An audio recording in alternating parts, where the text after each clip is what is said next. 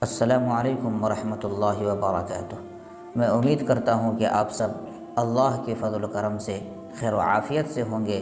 اللہ تعالیٰ آپ لوگوں کو ایسے ہی خوش رکھے۔ آج کے قصے سے ہمیں پتہ چلے گا کہ ہم اللہ کے شکر گزار ہیں یا ناشکرے ہیں۔ اور اس کو بتانے سے پہلے ایک قصے کا ذکر کرنا بہت اہم سمجھتا ہوں۔ اس لیے پہلے آپ اس قصے کو سنیں، پھر آپ اندازہ کر سکتے ہیں کہ ہم اللہ کے شکر گزار ہیں یا ناشکرے ہیں۔ وہ قصہ ہے ایک سیانہ کوے کا، کہ کسی جنگل میں ایک سیانہ کوا رہتا تھا۔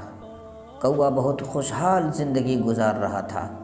بغیر کسی فکر کے وہ پورا دن گھومتا پھرتا اور طرح طرح کے کھانے پینے کا لطف اٹھاتا۔ اندھیرے ہوتے ہی کسی خوشبودار درخت پر رات گزارتا۔ اپنی زندگی کے حسین دن گزارتے گزارتے ایک دن جب ان کی ایک ہنس سے ملاقات ہوئی تو اس ملاقات کے بعد وہ کوا پریشان رہنے لگا۔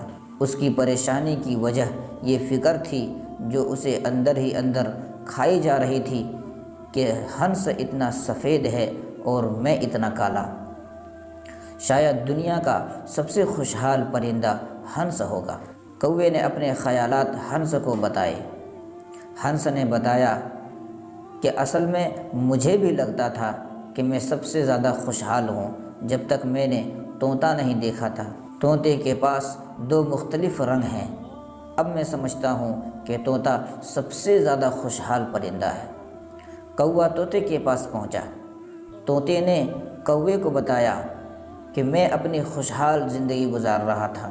پھر میں نے مور کو دیکھا۔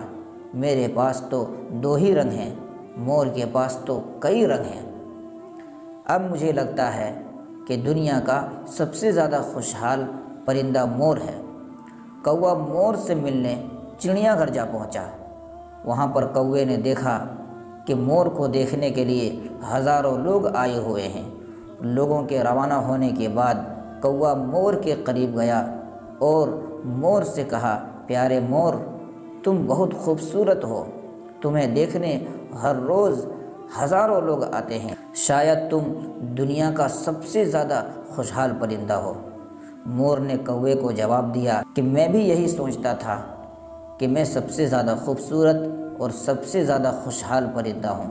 لیکن میں اپنی خوبصورتی کی وجہ سے آج چڑیا گھر میں قید ہوں۔